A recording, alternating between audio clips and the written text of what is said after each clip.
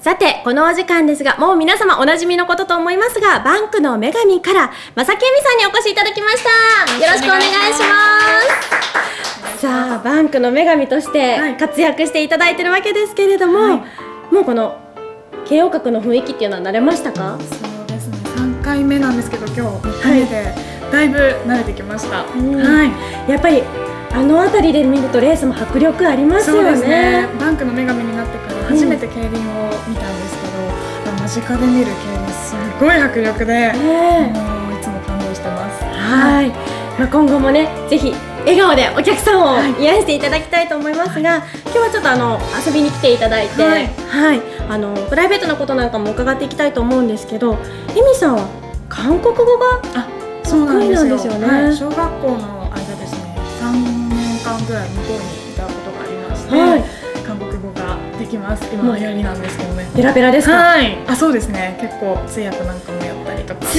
そうなん訳ですってすごいですよね。そうなんですよ。じゃあもう普通に日常会話はもちろん、はい。結構難しい話なんかも韓国語でできちゃったりするんですか？今勉強中ですね。うん。はい。そういう風になれたら仕事でもっと使えたらいいなって思ってます。すごい。ちなみに夢はどっちの言葉で見るんですか？あ夢はあのー体調悪い時は韓国語で見るんです体調悪い時？はい。体調悪い時は韓国語で見ますね。えー、なんでだろう。なんかその 体調コンディション悪い時ってね。そうですね。韓国語で夢を見るとあ私今ちょっと疲れてるのかなとか思います。そういうバロメーターにもなってるはいんですね、そうですね。まあ、韓国というとね、あのお酒なんかもマッコリが今流行ってたりしますけど、結構飲めるんですか？こう飲みますね何が好きですか？基本はビールか、うん。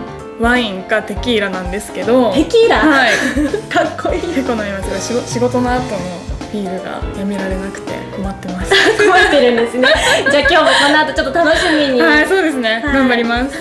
まあ、でもこの気候だとやっぱりお酒も美味しいじゃないですか、そうですね。ビアガーデン行きたいです。いいですよね、私も先日行ってきたんですけどやっぱり雰囲気がいいですよねさあこの後は第10レースが発送となるわけなんですけれどもそれでは最後にですねはい。ファンの皆様に一言いただけますか？はい、えー皆さんの投票を無駄にしないように明るく元気よく慶応学をこれから盛り上げていきたいと思いますのでどうぞ応援よろしくお願いします。はい、まさきえみさんにお越しいただきました。ありがとうございまし。た